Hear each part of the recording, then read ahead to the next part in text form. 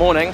So early start this morning. We're up at five. It's just we've just done a 20 minute walk to the uh, airport transfer station, Southern Cross Station, which is a pretty cool station to be honest. Um, got an early flight this morning, so it's 8:30.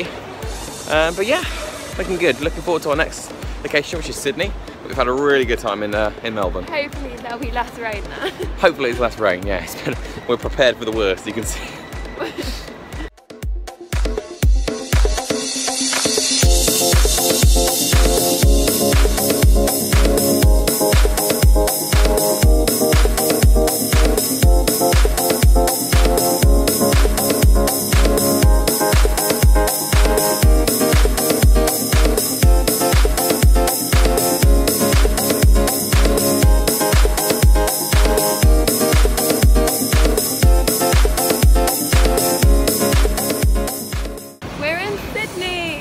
That short one hour flight from Melbourne. Very easy, domestic flight, no security, literally just walk in, walk out. So yeah, we'll have to get a train now into Sydney Centre. What happens when life breaks down? When there is systemic contradiction? My name symbolized all that was corrupt to society. His name symbolized.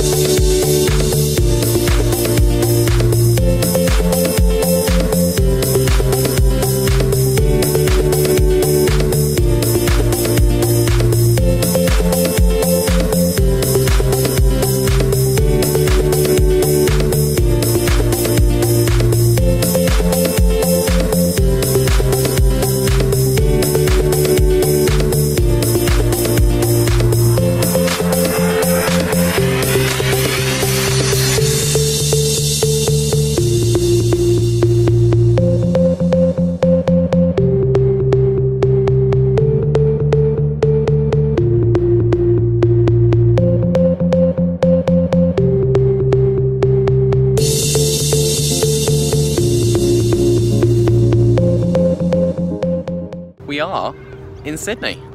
We've uh, been just checked into a hostel called the Mad Monkey Backpackers Hostel, which is It's very really cool. nice. It's really nice, really nice. We've got air conditioning as well, even better. No curtains though. No curtains there. And we're currently on, from what we imagine, is the Sydney University campus. I think we're in the middle. Um, so we're just gonna have a look around.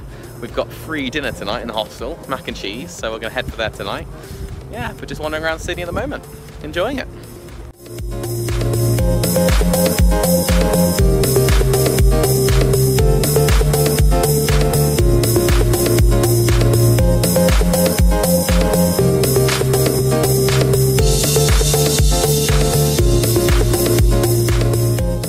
So, we are currently, I believe, on the first team rugby pitch at Sydney University. It's an amazing university. We're walking around at the moment. It's all very like old buildings, but then also very modern. Yeah, I'm really pumped. We just saw a croquet party. Yeah, croquet. We're going to join in because I'm an expert croqueter. Everyone was wearing like suits and ties. Like dresses, but loving it so far. Sydney Uni got a thumbs up from us.